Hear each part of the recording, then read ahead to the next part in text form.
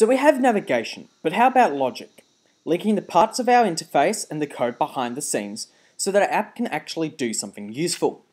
This might sound simple, you've done it before using Intelligent Editor and Control Drag.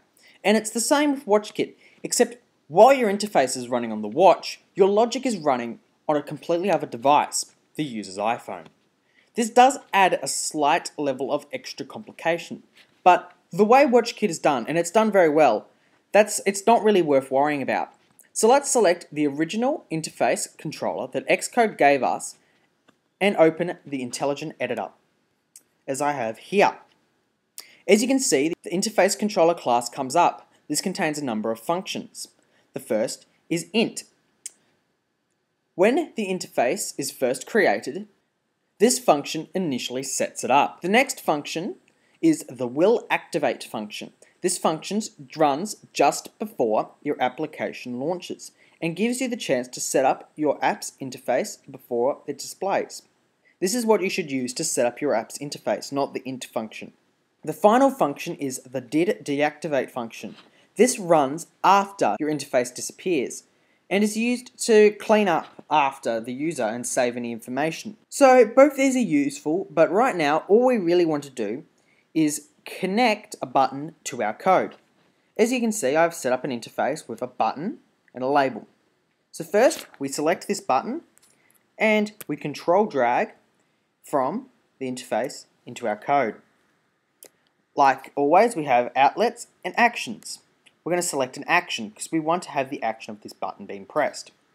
Now we type in button pressed because that's what I'm going to call my function. So we have a function. We're going to do something really simple. We're just going to run a print line. And we're going to print line something.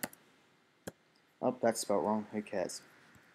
So now we have this. We've linked our interface to our code. We're going to build our app and run it and see what happens. So here we have our uh, Apple Watch simulator. We press our button a couple of times.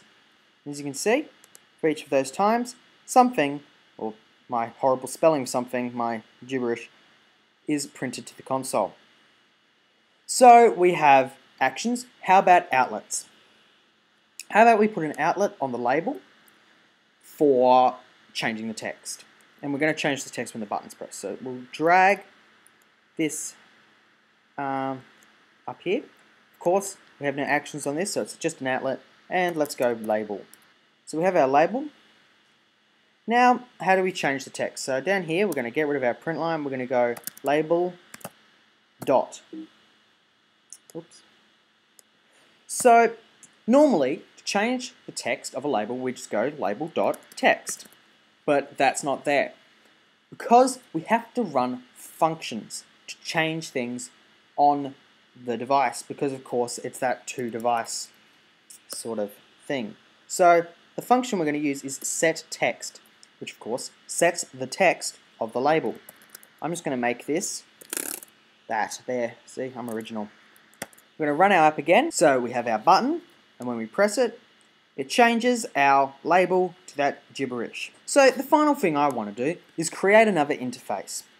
We drag another interface controller onto the screen and I'm just going to make it a page between these two so we can just slide between them. So normally what would you do now? You'd make a class. We have to put our class up here in our app and our WatchKit extension. So to make sure that uh, the file goes in this folder, we're going to select a file that's already in the folder. I'm going to go New, File, and this is the thing that might change, Cocoa Touch. So in this drop down, we want to select WK, Interface, Controller. We're going to call it Second. Um, we're going to create that and make sure WatchKit extension is selected because that's what it's going to be part of. It's going to be part of our extension. So as you can see, we have this. This is all that's created because the SDK isn't complete yet. In the future, this probably will change. It definitely will change. So if it looks different from this, don't be shocked. But for now, we're going to have to copy some things over from our default interface class. So first we need to copy over these two imports, the two frameworks that we need to import, and replace UIKit with those two frameworks.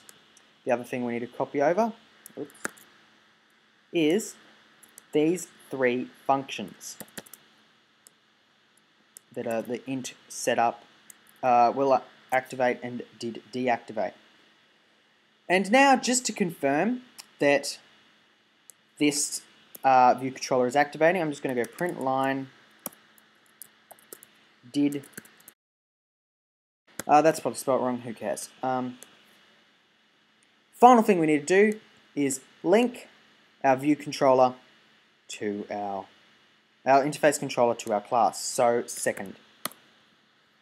Let's run the app and see how that works. So here we have, so just move this over so you can see the console. When we slide on over, did activate, which is of course from our second view uh, interface controller. Slide back over. So there's a lot more things you can do with Logic in WatchKit apps. And I'm going to be talking them about them later in the series. And if you want to go forward now, you can go forward in the playlist. But for the next video, I'm going to talk about how layouts work in WatchKit.